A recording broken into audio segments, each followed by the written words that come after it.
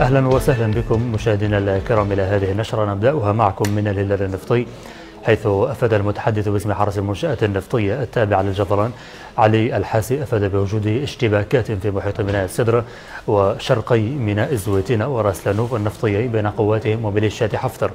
هذا وقال الحاسي لقناة النبأ أن قتيلا وعددا من الجرحى سقطوا في الاشتباكات الدائرة في منطقة الهلال. وأضاف أن قواتهم تقوم بالتحشيد نحو ميناء السدر النفطي. هذا وكانت ميليشيات حفتر شنت هجوما على الموانئ النفطية بالهلال مدعومة بميليشيات حركة العدل والمساواة السودانية.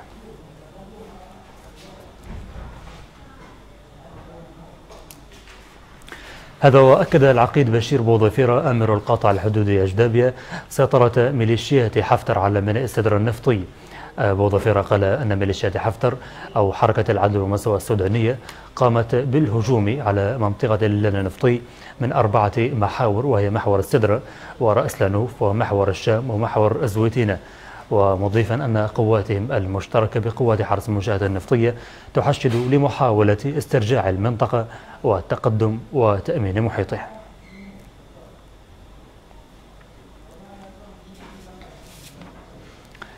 وللمزيد حول هذا الموضوع ينضم إلينا عبر الهاتف المتحدث باسم جهاز حرس المنشآت النفطية علي الحاسي. أهلا وسهلا بك سيد علي. آخر الأنباء الواردة الميدانية طبعا من منطقة اللال النفطي أن ميليشيات حفتر سيطرت على ميناء السدرة ورأس لانوف وهي الآن بصدد السيطرة على ميناء الزويتينه هل هذا صحيح؟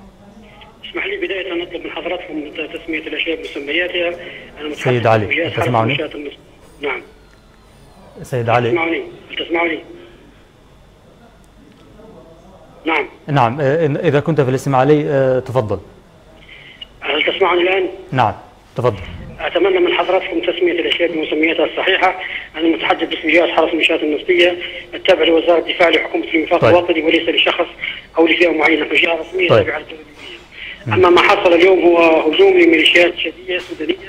تابعة لما يسمى العدل والمساواة بقيادة المجرم حفتر يحاولون السيطرة على الهلال النفطي قبل قليل بلغت أنه تم دحرهم بالكامل من محيط ميناء الزويتينة وإيقاع عدد كبير من القتلى والجرحى في في في صفوفهم والآن قواتنا تشتبك منذ الصباح في محيط ميناء خزانات الخيبة وفي محيط الصدرة لطرد هذه العصابات الخارجة عن القانون.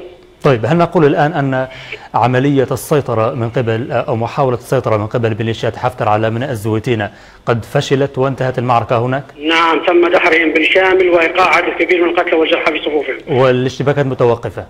الآن هربوا مذعورين وتركوا قتلاهم خلفهم والأمور في الزويتينة على ما يرام. الآن القتال في محيط الفيبة ومحيط السدر طيب عندما نقول أن قوات حرس العدل أو حركة العدل والمساواة السودانية هاجمت ميناء الزويتينة ميناء الزويتينة يقع شرقي مدينة أجدابية. كيف تمكنت هذه القوات من الوصول من الجنوب حتى هذه المنطقة؟ الصحراء شاسعة سيدي الفاضل وهناك كثير من العملاء الذين يسهلون مرورهم على دفعات. طيب ماذا عن الأوضاع الميدانية الآن في في ميناء السدرة وميناء راس لنوف؟ الأوضاع الميدانية الاشتباكات متواصلة وتنظيم صفوفنا مستمر وخلال ربما ساعتين أو ثلاث ساعات القادمة ستسمعون الاخبار جيدة بإذن الله تعالى. معنويات مرتفعة والشباب على وهبه الاستعداد ولا لا يوجد لدينا اسمه تراجع إلى الوراء إما الموت وإما طرد هذه العصابات الغازية. فعليا الآن على الأرض قوات حفتر تسيطر على ميناء. ميناء راس لانوف وميناء السدرة. غير صحيح بالكامل قواتنا موجودة وانتظروني في نشراتنا اللاحقة نشراتكم اللاحقة سنوفيكم بالجديد. كل ما يتحدث به ما يسمى المتحدث باسم قيادة الجيش المدعو أحمد المسماري كذب وعاري عن الصحة وهو معروف بهذه التصريحات الزائفة والغير حقيقية. أه.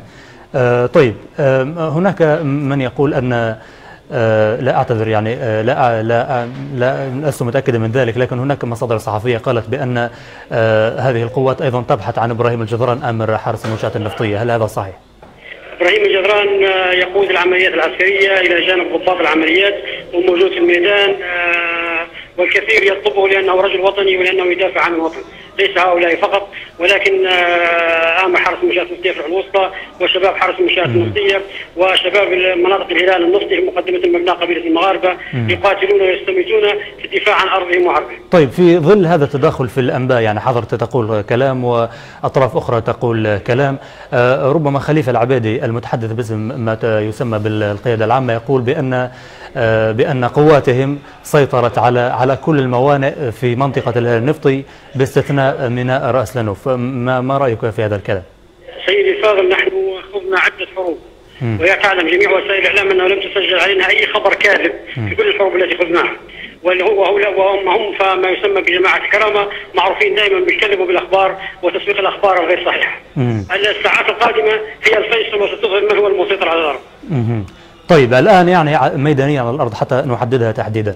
من أزوتنا فشلت ميليشيات حفتة فالسيطرة نعم عليه تم وهي تم طردهم من منذ حوالي الساعة الثانية عشر طيب حتى أؤكد معك يعني تحديدا لم أستمع لك جيدا.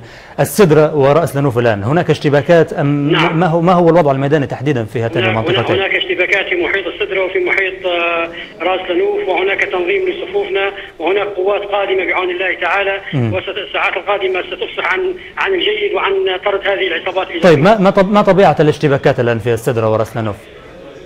اشتباكات هي الاشتباكات ليس لها طبيعة معينة هي اشتباكات بالاسلحه الثقيله والمتوسط طيب. أنتم الآن قبل قليل قلت لي سيد علي الحاسي أنكم تابعون لوزارة الدفاع آه، آه، في حكومة الوفاق المقترحة برئاسة المهدي البرغثي. ما الذي نعم. آه، يعني ما موقف هذه الوزارة الآن مما يجري في هذه المنطقة؟ حقيقة التواصل بالتأكيد مع آمر الجهاز ومع ضباط العمليات أنا لم يردنا أي تواصل ولكن المعلومات التي لدي أنهم يتابعون الوضع خطوة بخطوة ويعني هل هناك أي نوع من الدعم سيقدمه المهدي البرثي باعتباره وزير الدفاع وأنتم تتبعون له؟ نتوقع إذا كان المجلس الرئاسي ووزارة الدفاع آه، يهمهم أمر مخدرات الليبيين بالتأكيد سيكونون في الموعد ونحن على ثقة أنهم سيكونون في الموعد بإذن الله. طيب حتى نكون واضحين سيد علي الحاسي الآن الاشتباكات منذ ساعات الصباح الأولى هذا التطور منذ ساعات الصباح الأولى منذ ساعات الصباح الأولى وحتى هذه اللحظة ألم يصدر موقف من المجلس الرئاسي على الأقل لكم أنتم آه، آه، يعني موقف محدد تجاه هذا الذي يجري هل تواصلتم معه؟ لست معنيا بالتواصل معهم هناك آه، رئاسة الجهاز هي التي تتواصل معهم ومع الوسطى.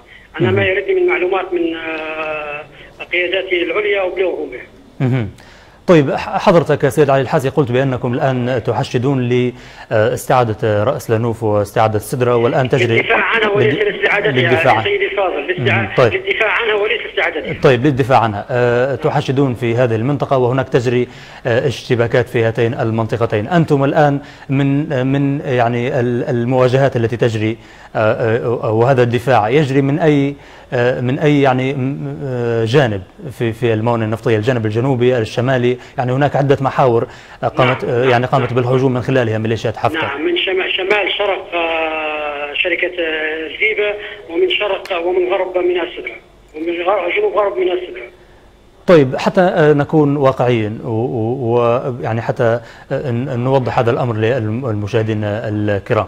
أنتم الآن آه، يعني ميليشيات حفتر آه، تحاول آه، التقدم باتجاه الموانئ من أربعة محاور ويبدو أنها يعني حشدت أكثر من أكثر أكثر من قوة. يعني هناك من قال بأن بن نايل يشارك في هذه المعارك ومعزب أيضا يشارك في هذه المعارك والعدل والمساواة. أنتم الآن هل قادرون على الدفاع يعني الدفاع على الموانئ بعد كل هذه هذه الحملة الكبيرة العسكرية؟